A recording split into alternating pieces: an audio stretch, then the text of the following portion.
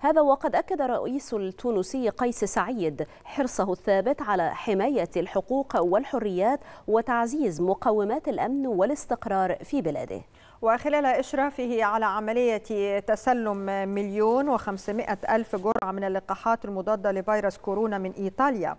جدد الرئيس التونسي موقف بلاده الداعي إلى معالجة شاملة ومتضامنة لمسألة الهجرة غير الشرعية والتصدي لشبكات الاتجار بالبشر وتهريبهم محذرا من كل محاولات التوظيف السياسي لهذا الملف في ظل الظرف الدقيق الذي تمر به تونس.